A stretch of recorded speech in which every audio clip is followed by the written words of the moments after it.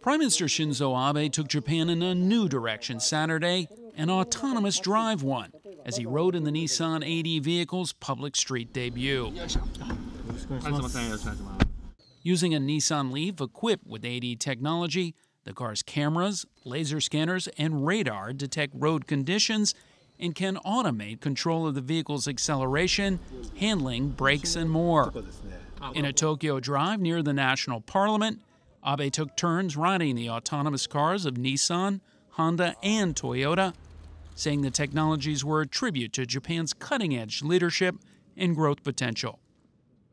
あのまあ、今日、えー、トヨタ、ホンダ、日産さんのですね、えーそれぞれ、えー車に、えー乗せさせていただきました、乗させていただきましてですね、えーまあ、それぞれ特徴があるんですけども、 えーしかしまあ全てですね、例えば、まあ、急カーブとか車線変更、えー自動走行では難しいと言われている分野においてですね、えーさすがあ日本の技術は世界一だなということを。 Nissan sees the Tokyo demonstration as a further milestone in its pledge to bring AD vehicles to mass markets by 2020, which it announced in August at the Nissan 360 event in California.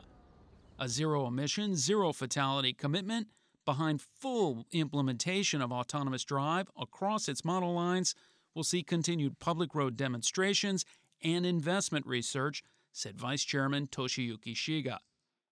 autonomous car is kind of the goal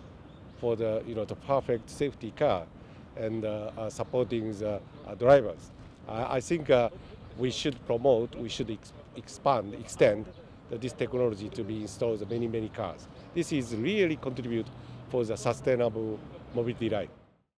Nissan will build a proving ground for AD testing in Japan, while the national and local governments' roles in promoting rollout and infrastructure will be key.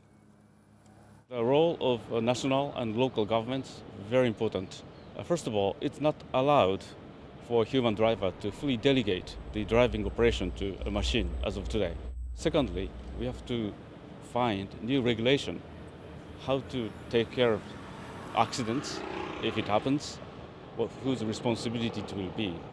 Prime Minister Abe's Tokyo road trip will be the first of many for Nissan AD cars in future weeks, with a highway run not far off.